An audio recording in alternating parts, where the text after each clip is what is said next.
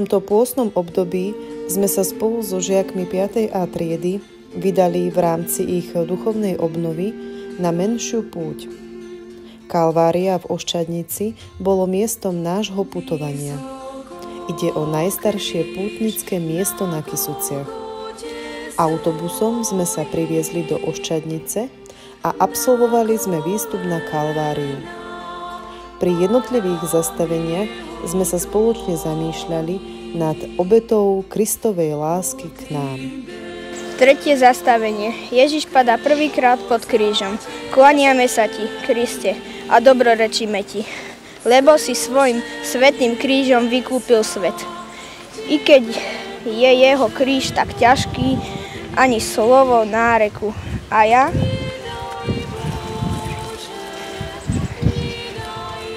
Ukrižovaný Ježišu, zmiluj sa nad nami aj nad dušami v očistci.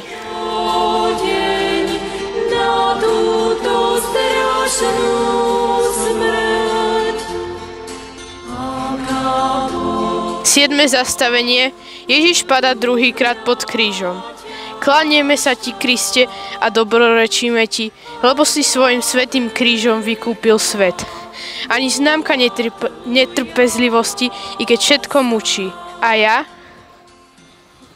Ukrižovaný Ježišu, zmiluj sa nad nami aj nad dušami v očistci.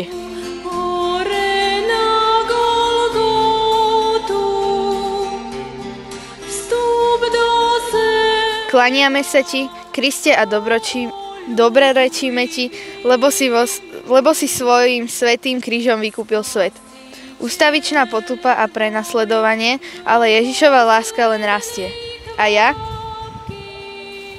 Ukrižovaný Ježišu, miluj sa nad nami aj nad dušami v očistci.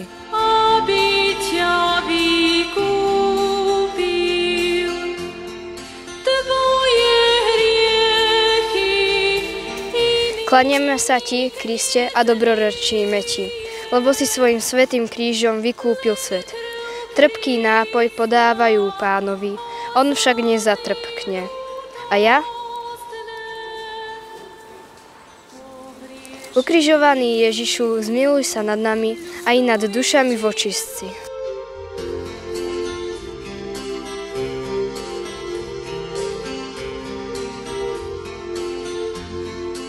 11. zastavenie Ježiša pribíjajú na kríž.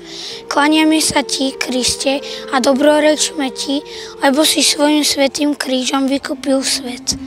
Ježiš nastavuje ruky katom. A ja, ukrižovaný Ježišu, zmiluj sa nad nami aj nad dušami v.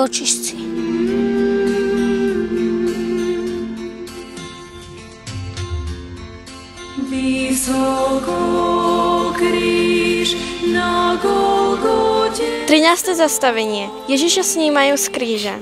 Klaniame sa ti, Kristi, a dobrorečíme ti, lebo si svojim svetým krížom vykúpil svet. Odbočinok nachádza Ježiš u matky. A ja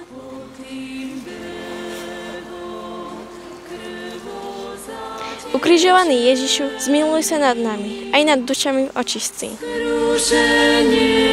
Sa k Tebe, Bože, 14. zastavenie. Ježiša pochovávajú. Klaniame sa Ti, Kriste, a do, dobroručíme Ti, lebo si svojim svetým krížom vykúpil svet. Jež, Ježiš berie svoje rany so sebou do hrobu a aby ich rýchlo ukázal otcovi ako víťaz. A ja? Ukrižovaný Ježišu, zmiluj sa nad nami a aj e, nad dušami v očisti, očistci.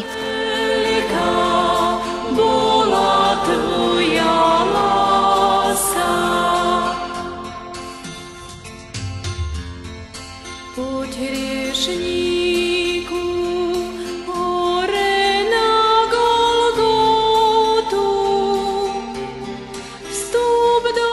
Po výstupe svetú omšu celebroval náš pán dekan Pavol Špita. Žiaci sa pekne zapájali do slávenia, a to ministrovaním, čítaním zo svetého písma. Pán dekan žiakom priblížil aj históriu tejto kalvárie a význam kríža v ľudskom živote. Kalvária v Oščadnici vznikla ako poďakovanie miestnych ľudí Bohu za to, že počas druhej svetovej vojny sa na ich území nebojovalo.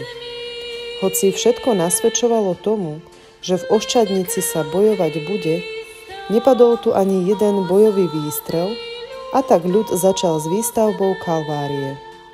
Všimte si, keď vidie horolezec na vrchol hory, tak čo tam zapichne?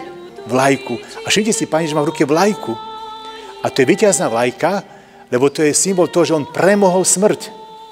Ako horolezec premohol tú horu, ktorá, povieme, že je doslova nezdolateľná, ju premohol, tak tam zapichne tú vlajku a Ježiš premohol smrť a on drží tú vyťaznú vlajku v ruke.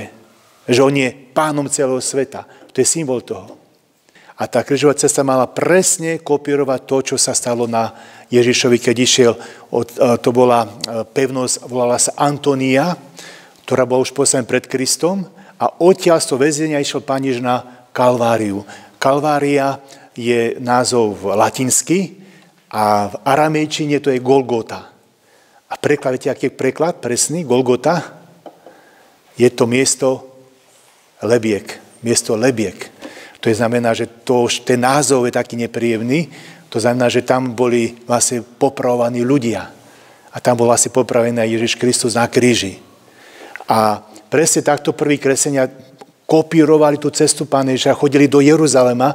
Teraz, viete, sademe na lietadlo a tedy to bolo ťažké sa tam dostať. A oni presne kopírovali tú cestu Pána Ježiša na Kalváriu. A potom ktorí sa tam nemohli dostať, tak vznikali tie krivové cesty vo farnostiach, hej, budovali sa kalvárie, kalvária vždy nejakú, na nejakom kopci, a ste boli možno v Banskej šťavnici, to je taká najznámejšia kalvária, tak vidíte tam tú cestu do hora, hej, až úplne hore. A teraz je tam taká zaujímavosť, že tam, tu bolo koľko zastavení? 14. 14. A v Banskej šťavnici viete koľko? 15. Ešte pridajte. 20. Ešte pridajte. 25 zastavení tam je. Hej? Tak prepač. 25 zastavení tam je, e, lebo tie zastavenia, tá klasická teraz, ak sa tá U13, tá krížová cesta, to tam je 9 biblických zastavení zo Svetopísma a, a 5 ich je z tradície církvy. Po Svetej Omši nás navštívil miestny pán farár Ondrej Rašovec, rodák z Tepličky nad Váhom.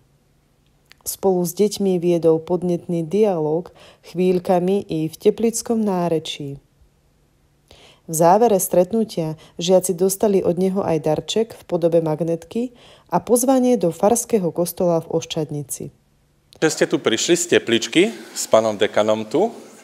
On ma kedysi uvádzal, on bol dekanom tuto v tejto časti a mňa uvádzal tu na farárske miesto, takže my sme aj s pánom farárom tak ináč spriaznení bol to síce len jeden rok a už potom odišiel do tepličky a ja som zostal tu vo Šťadniciach. Um, decka, toto je pútnické miesto pre na Kisuciach.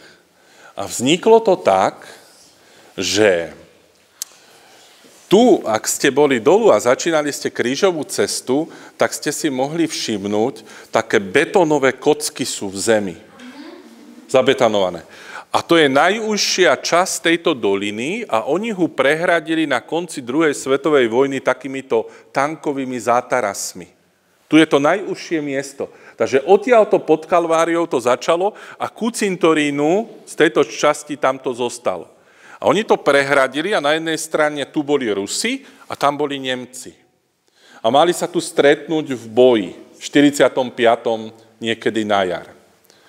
A ľudia tu prosili pannu Máriu, aby ich uchránila od toho, že by vyhorela dedina, lebo to je tu centrum.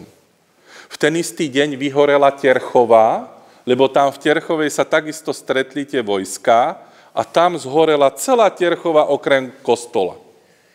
A tu sa ľudia modlili a zvláštne je, že tu nevy, ani jeden výstrel tu nepadol, a to vojsko sa obrátilo na druhú dolinu do Skalitého, na železnicu, na Čacu a tak to išlo ďalej a Nemci sa tu len stiahli. Tak tu nepadol jediný výstrel a ľudia z toho, že si pamätali, že tu 100 chlapov zomrelo pri prvej svetovej vojne a pri druhej svetovej vojne nikto, tak zďaky na tomto mieste, kde sa malo bojovať, postavili celú túto kalváriu v roku 45 až 48.